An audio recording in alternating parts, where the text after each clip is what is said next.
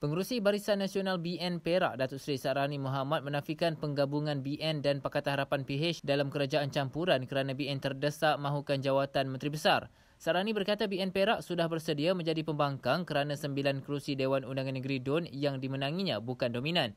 Beliau berkata bukan BN yang hendak jawatan Menteri Besar, sebaliknya kedudukan itu ditawarkan oleh PH jika bersetuju dengan kerajaan campuran Perak di antara BN dan PH.